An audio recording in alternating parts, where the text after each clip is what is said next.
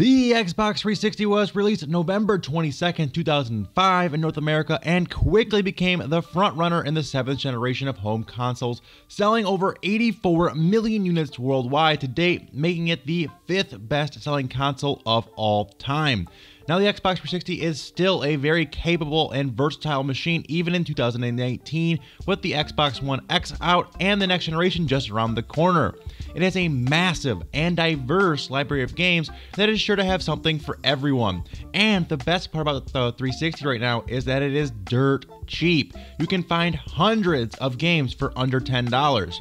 I'm your host as always, KMack Time, and today we, I want to take a closer look at 10 Xbox 360 games that you can get on the cheap and will always be fun to play. So sit back, relax, hit that like button and subscribe, and let's jump right in with number 10, Ace Combat 6. Released pretty early on in the Xbox 360's life cycle in 2007, Ace Combat 6 is an amazing arcade flight sim game. It's got a powerful storyline, decent enough graphics that still hold up in today's standards, and a great sense of style. This game is amazing. If you're a fan of the Ace Combat series or in flight sims in general, this is a really good one to pick up. It's, like I said, got a great storyline. This is actually an Xbox exclusive. It's not on PS3 or any other thing else. It's the only place you can play it is on Xbox 360. And you can get it for around 10 to $12 complete disc only probably running about five dollars or so so like i said it's dirt cheap it's fun to play it's got great visuals great arcadey fast-paced gameplay and it's just really a lot of fun and it's one that you can really just pick up and jump into it never really gets old emergency news report.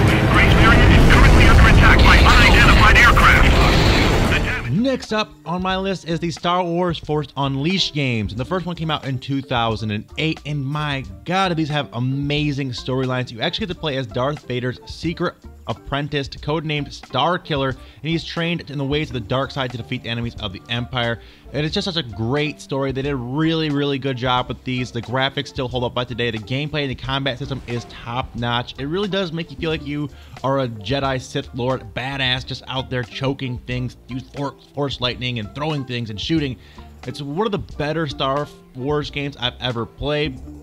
I mean, yes, you can play Battlefront 2 on the new consoles, but I, for whatever reason, I feel like this storyline is much better than the Battlefront 2 storyline. It holds up a lot better, and it's still one I go back and play every now and then. It's got a great storyline. Like I said, there are two of these games, and they are both backwards compatible, so you can actually put these Xbox 360 games inside of your Xbox One, and you'll play them. So you can even download them on there. So it's really cool. You get to play them on the newer hardware. These are great games worth picking up. They're dirt cheap, like always, like four or five dollars a piece. Definitely worth picking up, checking out. Lots of fun with this series.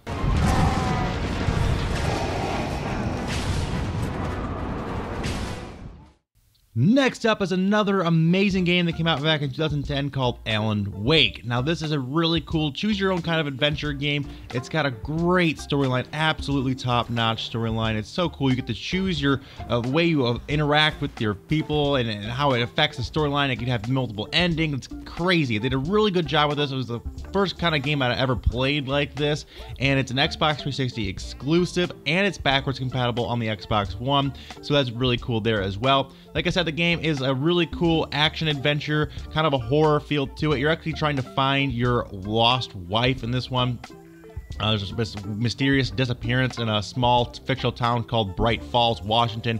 It's got great plot twists, got a lot of like weird novel kind of things to it. It's got great writing. One of the better games on the Xbox 360, and one you can pick up again for under $10. A great value for this. It's got great storyline, there is DLC you can buy for it as well. And there is a, a, a, secondary game you can buy for it as well. It's also backwards compatible called Alan Wake's American Nightmare. Um, but you can pick that up as well, very cheap. Both games are worth playing, and both games are still very fun to date. So I highly recommend picking them up and giving it a play if you've never played this series.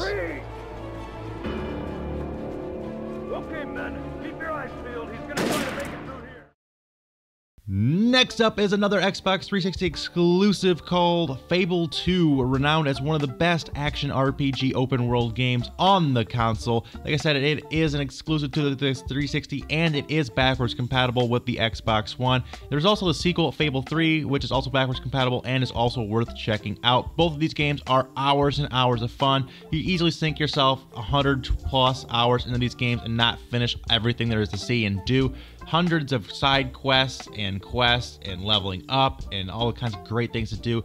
Lots to see, lots to do. Great open world environments, pretty decent storyline. It wasn't the game we were promised in 2007's E3. We didn't get everything we wanted out of this game, but it is still a very solid choice. And if you're looking for an RPG to play, you never played this one before, highly recommend giving this okay. series a try. No problem. We will continue Another interesting and very wacky but still very fun Xbox 360 exclusive is Beautiful Katamari, which came out in 2008 and is the fourth game in the Katamari Damacy series.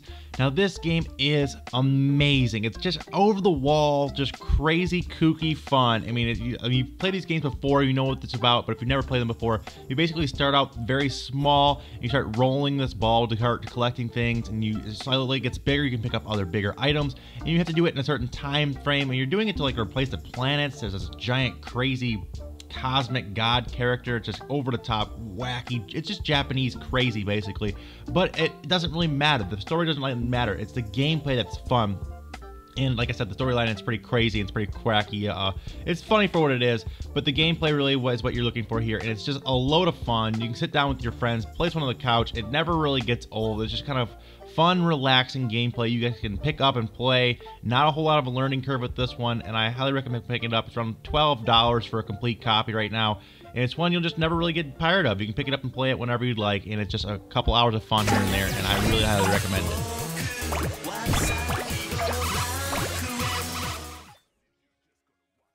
Next up, we have my favorite hack and slash on the platform, and that is 2009's Bayonetta, which is developed by one of my all-time favorite game developers, Platinum Games. They did an amazing job with this game. It's one of my all-time favorite series.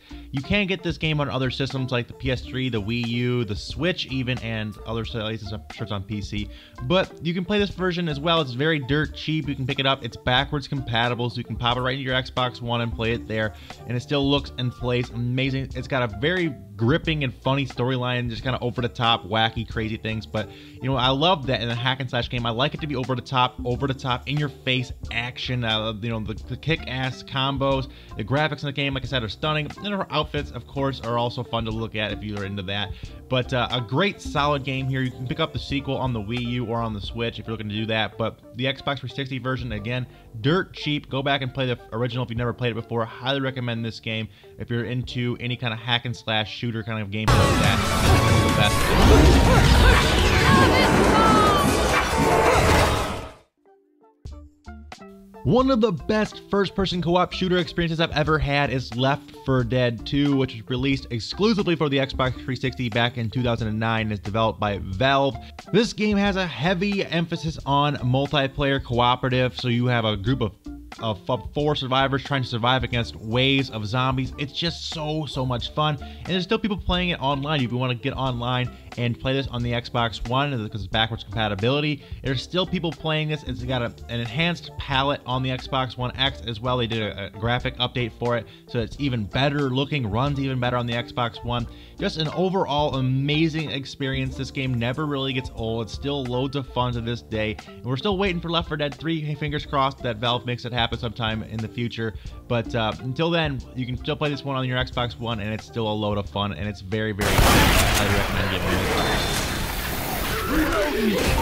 Watch out! Next up is a combination of a few of my favorite games from the sixth generation, and that is the Dragon Ball Z Budokai series. And you can actually get the HD collection on the 360, and it's pretty badass. Now, it only has the first and third game, it doesn't have the, the second game, and I don't really understand why. But anyway, the first and third ones are awesome, and they're really worth your time. They're great anime fighting games. They follow the plot lines of the original series. It's got great plot lines drawn into this, it's got great fighting mechanics, there's boss battles, things like that. You can also, of course, play couch co-op multiplayer and play against your friends and whoop some ass and some of that. I love playing as Piccolo and some of the other things. It's got great diverse roster of Dragon Ball characters from most of the series. Just a really solid series of games here. And they look amazing on the Xbox 360 with the HD update. And this is more one of the more pricier games on this list. It'll run you about $20 for a complete copy as it's kind of a sought after game because it's just so popular. But it's one worth picking up, especially if you're a fan of the anime Dragon Ball Z. Um, it's worth picking up. But even if you're not a fan of the of the anime, it's still a decent fighting game, and I highly recommend picking this one up. Want to hurt your own brother, do you? No, that's enough. I'm nothing like you, Raditz. You're not my brother. Next up is one of the most unique and interesting crazy games I've ever played, and that is Portal 2. Again, just a game that you can have hours and hours of fun with. It's like a first person shooter puzzle game with this crazy amazing story. The dialogue in this game is is top notch, well so perfectly written, so dry humor. I absolutely love this game. I've played it through a, a, probably a hundred times. Again, it's the game that is backwards compatible on your Xbox One, so that's a great thing going for it. Again, it's very cheap. You can find this dirt, dirt cheap, probably under $10 all over the place. You can find it with the Orange Box Collection as well.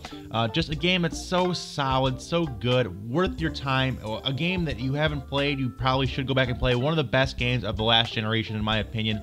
And a game, like I said, it's dirt cheap, so there's no reason to not go out, pick it up, pop it in your Xbox One, and give it a try if you haven't played it before. A game that will never really get old. A horrible person.